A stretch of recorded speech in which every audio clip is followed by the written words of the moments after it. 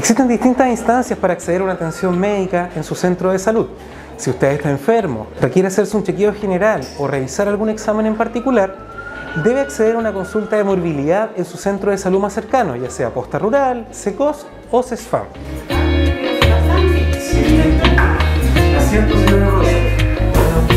En esa consulta, el médico o médica le va a realizar una historia detallada, examen físico si es pertinente, solicitar estudios adicionales y dar un tratamiento.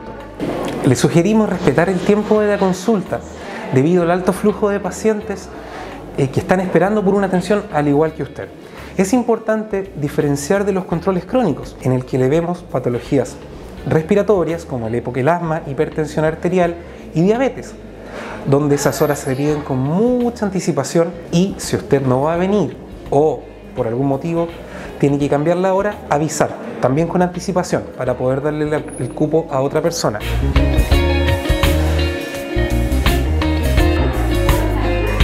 En esos controles, que como le dijimos están dentro del programa Crónicos, podemos conversar con usted sobre su plan de tratamiento, sobre medidas tanto farmacológicas como no farmacológicas para mejorar el pronóstico de esta condición a futuro.